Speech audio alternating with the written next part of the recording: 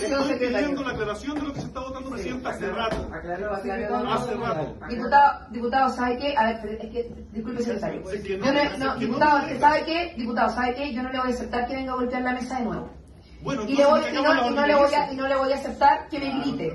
Yo soy una mujer diputada y le pido respeto. Yo le pido Soy respeto presidenta de esta comisión y estoy aplicando el re- re- reglamento de manera estricta. Así que por que favor, claro por favor, si usted tiene la costumbre de invitarle a las mujeres, le pido que aquí no lo haga y menos que golpee la mesa. Yo le- En yo tengo- votación, yo